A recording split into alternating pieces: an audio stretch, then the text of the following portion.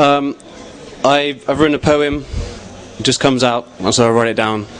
It's usually usually all about me, because uh, I don't know. I spend most of my time worrying about other people, so I write about me on paper, and here it So is. We'll, um, we'll just give you a decent welcome first. Everybody, this is Ben.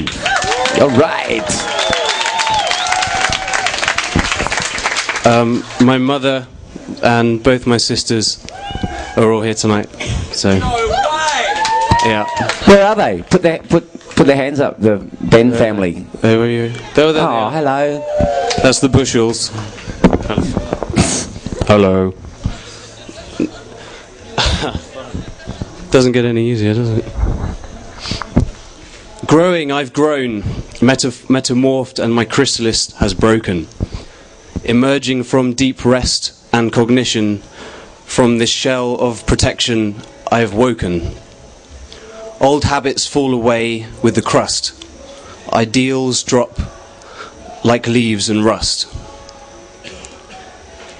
I stretch, I stretch every day as tall and yogic as sky, and fly amongst all.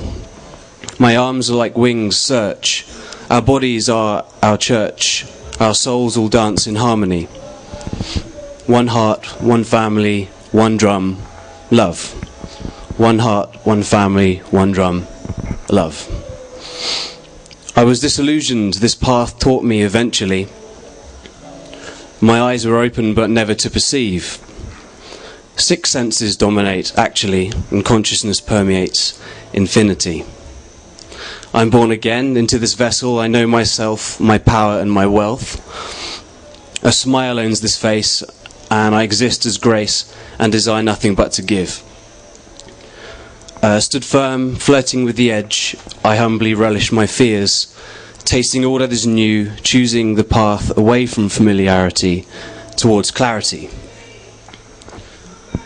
Swimming in a bottomless unknown, a new stroke, a new skill to master. I choose new faces and new places and obstacles. I need to see over the next horizon and the next horizon. So off I go, and here I am arriving again. I'm on my way and returning all at once. And it's ever so terrifically good to meet you all. It's my pleasure all this to announce.